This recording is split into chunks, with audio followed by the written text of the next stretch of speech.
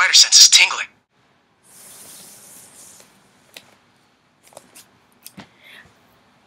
Sorry, baby.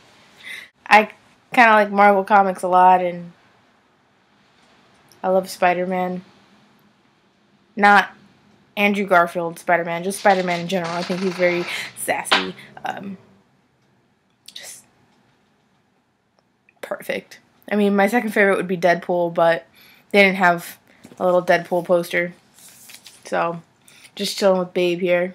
New addition to the wall.